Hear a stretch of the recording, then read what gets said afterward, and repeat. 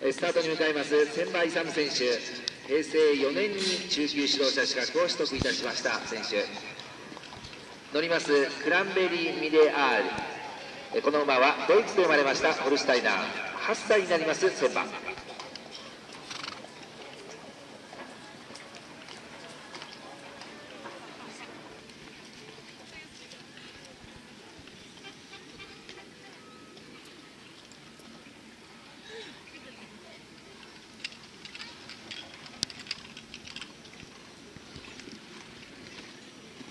走行しております千葉勇選手昨年の長崎国体茨城県を代表しまして成年男子のダービー競技にアラモード Z という馬に乗りまして見事優勝しております選手。さ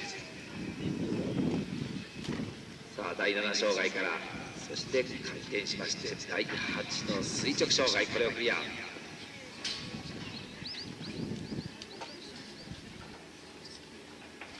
最終のラインに入ってまいりました。ここまで減点がありません。最終ダブル障害これをクリアしまして減点ゼロでフィニッシュライン。これから優勝決定戦ジャンプオフとなります。走行タイムが66秒0966秒09です。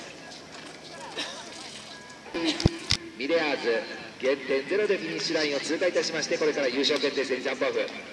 千葉選手は2年前の平成25年度のこの種目でアラモード Z で見事優勝しております。さあ2年ぶり2回目の優勝になるでしょうか。スタートラインに向かいます。まず先ほどの1番障害からここは小さく回ってきました。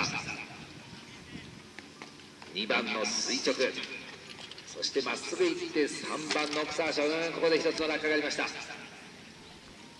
そしてこの障害物優勝決定戦ジャンプオフだけに使います。12番の垂直障害を飛んだ後右から来ました。